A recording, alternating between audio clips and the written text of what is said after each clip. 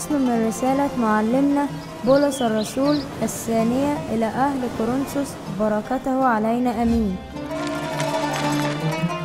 فإننا لسنا نكرز بأنفسنا بل بالمسيح يسوع ربنا ونحن أيضا عبيد لكم من قبل يسوع. لأن الله الذي قال أن يشرق نور من ظلمة هو الذي أضاء في قلوبنا نور معرفة مجد الله. بوجه يسوع المسيح. ولنا هذا الكنز في أوان خزفية لكي يكون فضل القوة لله لا منا محزونين في كل شيء لكن غير متضايقين مطرودين لكن غير ساقطين مضطهدين لكن غير متروكين مطروحين لكن غير هالكين. حاملين في أجسادنا كل حين إماتة يسوع. لكي تظهر حياة يسوع أيضا في أجسادنا. لأننا نحن الأحياء نسلم في كل حين للموت من أجل يسوع لكي تظهر حياة يسوع أيضا في جسدنا الذي سيموت. فالموت اذن يعمل فينا ولكن الحياة فيكم. وفينا هذا الروح الذي للإيمان حسب المكتوب آمنت لذلك تكلمت. نحن أيضا نؤمن ولذلك نتكلم. عالمين أن الذي أقام الرب يسوع سيقيمنا نحن أيضا مع يسوع ويوقفنا معكم. لأن جميع الأشياء كانت من أجلكم لكي تكثر النعمة ويزداد الشكر من الكثيرين لمجد الله. لذلك لا نمل بل وإن كان إنساننا الخارج يفسد فالداخل يتجدد يوما فيوما. لأن خفه ضيقتنا الوقتية. تنشئ لنا أكثر فأكثر ثقل مجد ابدي ونحن غير ناظرين إلى ما يرى بل إلى ما لا يرى. لأن الأشياء التي ترى هي وقتية وأما التي لا ترى فأبدية. لأننا نعلم أنه إن نقض بيت مسكننا الارضي فلنا في السماوات بناء من الله. بيت أبدي غير مصنوع بيد لأننا في هذا نئن مشتاقين إلى أن نلبس مسكننا الذي من السماء. وإن لبسناه فلا نوجد عراه فإننا نحن السكان في هذا المسكن نئن مثقلين. إذ لسنا نريد أن نخلعه بل أن نلبس فوقه لكي يبتلع المائت من الحياة. ولكن الذي صنعنا لهذا عين هو الله الذي أعطانا أيضا عربون الروح. فإذ نحن واثقون كل حين وعالمون أننا ما دمنا هنا في الجسد فنحن غرباء عن الرب. لأننا بالإيمان نسلك لا بالعيان. فنثق ونصر بالأولى أن نخرج من الجسد ونمضي إلى الرب. من أجل هذا نحترس أيضا مقيمين كنا في هذا الجسد أو خارجين عنه لنكون مرضيين عنده. لأنه لا بد أننا جميعا نظهر أمام منبر المسيح لينال كل واحد كالأعمال التي عملها بالجسد خيرا كانت أم شرا. فإذ نحن عالمون مخافة الرب نقنع الناس. وأما الله فقد صرنا له ظاهرين وأرجو أن أكون ظاهرا في ضمائركم أيضا. نعمة الله الآب فلتحل على أرواحنا يا أبائي وإخوتي. آمين.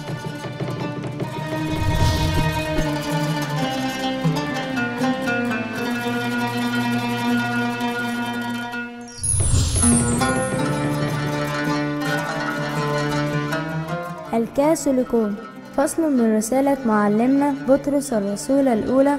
بركته علينا أمين. أيها العبيد كونوا خاضعين لسادتكم بكل خوف. ليس فقط للصالحين المترفقين بل للآخرين المعوجين أيضا لأن هذه نعمة. إن كان أحد من أجل ضمير نحو الله يحتمل أحزانا وهو مظلوم لأن ما هو الافتخار إذا كنتم تخطئون ويقمعونكم فتصبرون. لكن إذا صنعتم الخير وتألمتم وصبرتم فهذه هي نعمة من عند الله. الذي دعاكم لهذا لأن المسيح هو أيضا تألم عنا تاركا لنا مثالا لكي نتبع خطواته. الذي لم يخطئ ولم يوجد في فمه غش وكان يشتم ولا يشتم وإذ تألم لم يغضب وأعطى الحكم للحاكم العادل الذي رفع خطايانا على الخشب بجسده لكيما إذا متنا بالخطايا نحيا بالبر. والذي شفيتم بجراحاته لأنكم كنتم كمثل خراف ضالة لكنكم رجعتم الآن إلى راعيكم وأسقف نفوسكم. كذلكن النساء أيضا فليخضعن لرجالهن حتى وإن كان البعض لا يقبلون الكلمة. يربحون بسيرة النساء بدون كلمة. ملاحظين سيرتكن الطاهرة بخوف. وعلى هذا فلا تكن الزينة الخارجية من ضفر الشعر والتحلي بالذهب ولبس الثياب هي زينتكن بل الإنسان الخفي في القلب. في الروح الهادئ الوديع العديم الفساد الذي هو قدام الله كثير الثمن لأنه هكذا كانت قديما النساء القديسات المتوكلات أيضا على الله يزين أنفسهن خاضعات لرجالهن كما كانت سارة تطيع إبراهيم وتدعوه سيدي التي صرتن لها بنات صانعات الخير. وغير خائفات خوفا من أحد البتة. كذلك أنتم أيضا أيها الرجال. كونوا ساكنين معهن عالمين أن النساء آنية ضعيفة. معطين إياهن كرامة. كالوارثات معكم نعمة الحياة بأي نوع. لكي لا تعاق صلواتكم. لا تحب العالم ولا الأشياء التي في العالم لأن العالم يمضي وشهوته معه. أما من يعمل مشيئة الله فإنه يثبت إلى الأبد. آمين.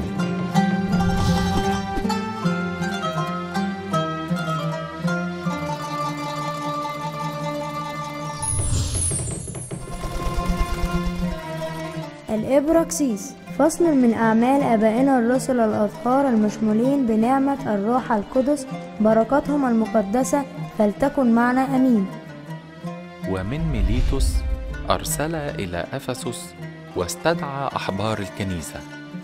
فلما جاءوا إليه قال لهم أنتم تعلمون من أول يوم أتيت إلى آسيا كيف كنت معكم كل هذا الزمان؟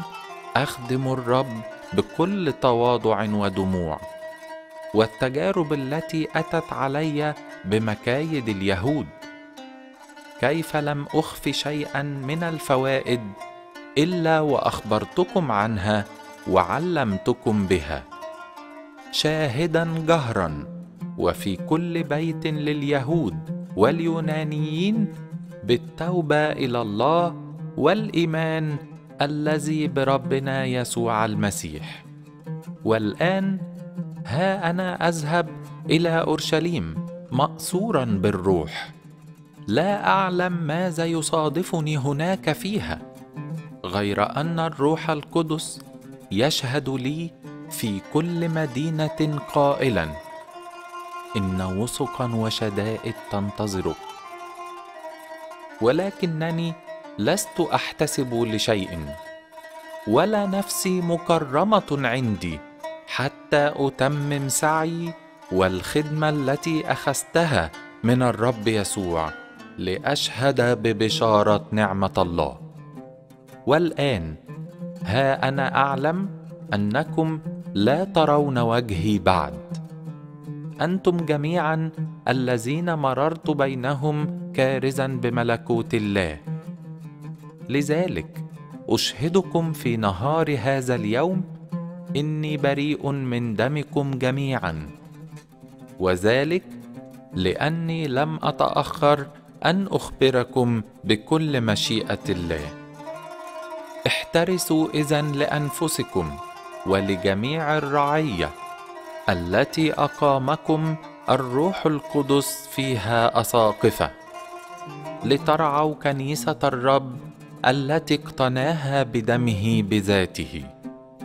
لأني أعلم أنه من بعد ذهابي سيدخل بينكم ذئاب خاطفة لا تشفق على الرعية. ومنكم أنتم سيقوم رجال يتكلمون بأقوال ملتوية ليجتذبوا التلاميذ وراءهم. لذلك اسهروا اذن متذكرين أني ثلاث سنين لم أفطر نهارا وليلا عن أن أعلم بدموع كل واحد منكم. والآن أستودعكم للرب ولكلمة نعمته القادرة أن تثبتكم وتمنحكم ميراثا مع جميع المقدسين. فضة أو ذهب أو ثوب أحد لم أشتهي. أنتم تعلمون أن احتياجاتي واحتياجات الذين معي خدمتها هاتان اليدان. في كل شيء أريتكم أنه هكذا ينبغي أن نتعب ونعضد الضعفاء. متذكرين كلمات الرب يسوع لأنه قال الغبطه في العطاء أكثر من الأخذ. ولما قال هذا جسى على ركبتيه مع جميعهم وصلى. وكان بكاء عظيم من الجميع ووقعوا على عنق بولس وقبلوه متوجعين ولا سيما من أجل الكلمة التي قالها إنهم لن يروا وجهه أيضا. ثم شيعوه إلى السفينة. لم تزل كلمة الرب تنمو وتكثر وتعتز وتثبت في بيعة الله المقدسة. آمين.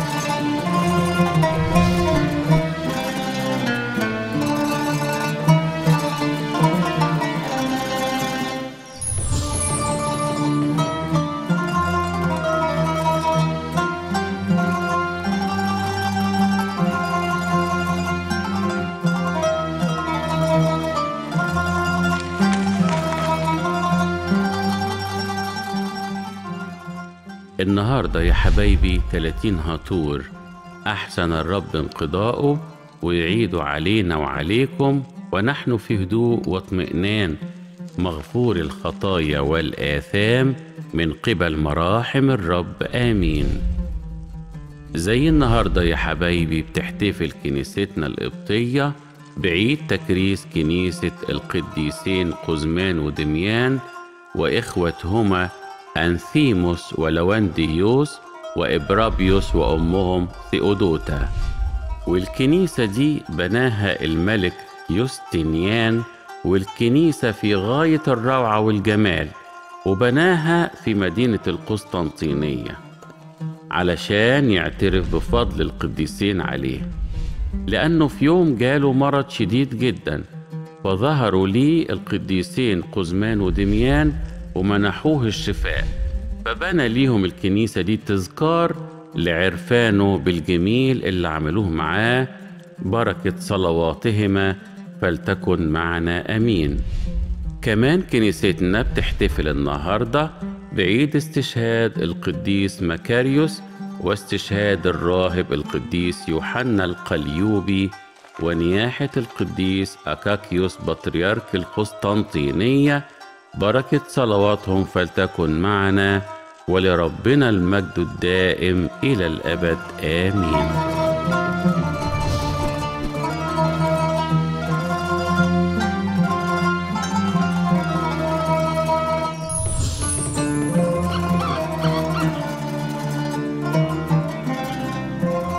من مزامير أبينا داود النبي والملك الطاهر بركات على جميعنا.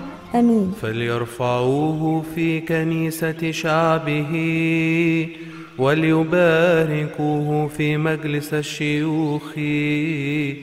جعل أبوة مثل الخراف يبصر المستقيمون ويفرحون. هللويا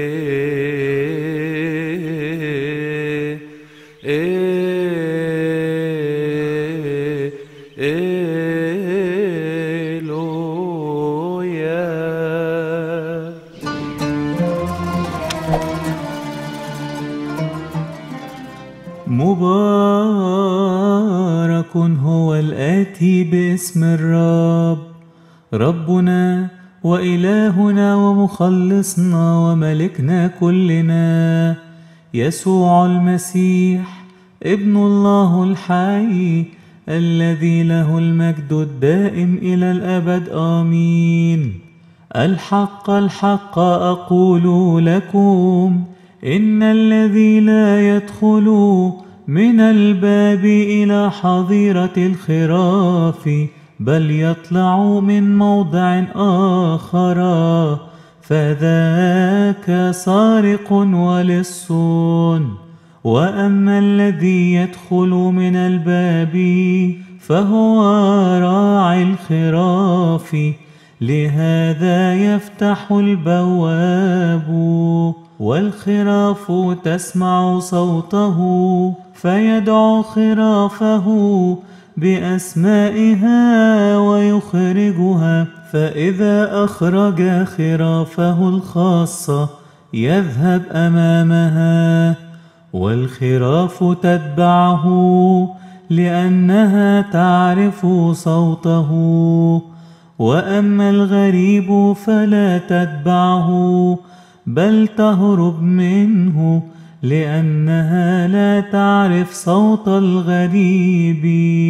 هذا المثل قاله لهم يسوع وأما هم فلم يعرفوا لأي شيء كان يكلمهم ثم قال لهم يسوع أيضا الحق الحق أقول لكم إني أنا هو باب الخراف. جميع الذين أتوا قبلي هم سراق ولصوص ولكن الخراف لم تسمع لهم. أنا هو باب الخراف. إن دخل بي أحد يخلص ويدخل ويخرج ويجد مرعى. وأما السارق لا يأتي إلا ليسرق ويذبح ويهلك. وأما أنا فقد أتيت لتكون لهم حياة وليكون لهم أفضل. أنا هو الراعي الصالح والراعي الصالح يبذل نفسه عن الخراف وأما الذي هو أجير وليس راعيا الذي ليست الخراف له فإذا رأى الذئب مقبلا يهرب ويترك الخراف فيخطف الذئب الخراف ويبددها لأنه أجير ولا يبالي بالخراف. أما أنا فإني الراعي الصالح وأعرف خاصتي وخاصتي تعرفني. كما أن الآب يعرفني وأنا أعرف الآب أيضا وأنا أضع نفسي عن خرافي ولي خراف أخر ليست من هذه الحظيرة. ينبغي لي أن آتي بهؤلاء الأخر أيضا فتسمع صوتي. وتكون رعية واحدة لراع واحد.